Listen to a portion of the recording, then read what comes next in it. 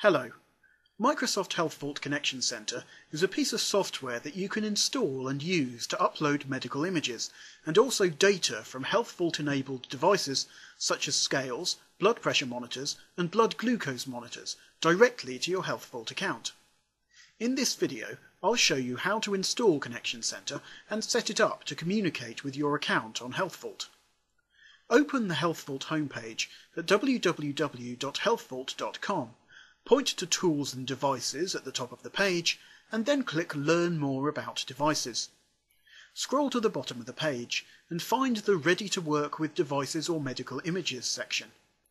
Before you install Connection Center, make sure that your computer meets the minimum system requirements by clicking the System Requirements link. If your computer does meet the requirements, click Install Connection Center. In the dialog box, click Run to start downloading the software which may take a few minutes depending on the speed of your internet connection. When the download finishes, click Run and then click Next to start the Connection Center installation wizard. Choose whether you want to allow Microsoft to anonymously use details of how you use Connection Center to help make HealthVault better, and then click Next.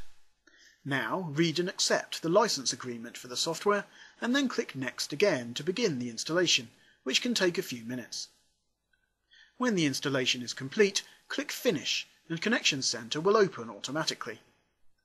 By default, Connection Center starts automatically each time you turn on your computer, and you can also open it from the Start menu. If this is the first time you've used Connection Center, you need to link it to your HealthVault account before you can upload data. On the Tools menu, click Add a Person. If you aren't already signed in to your HealthVault account, sign in with your Windows Live ID, Facebook account, or OpenID.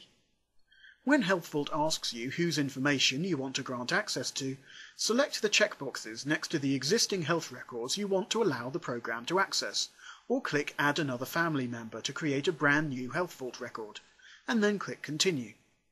Click the arrow to display a list of the types of information Connection Center needs to access in the health record.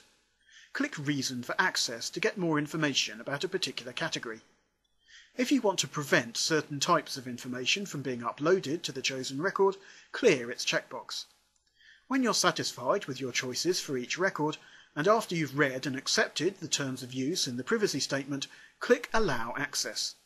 If you see a message from Windows asking you to allow HealthVault to open Connection Center, click Allow. Now Connection Center is ready to upload data to your HealthVault account, either medical images or data from HealthVault-enabled devices. Either plug your HealthVault-enabled device into your computer or click the Select a Task menu and then click Upload Medical Images.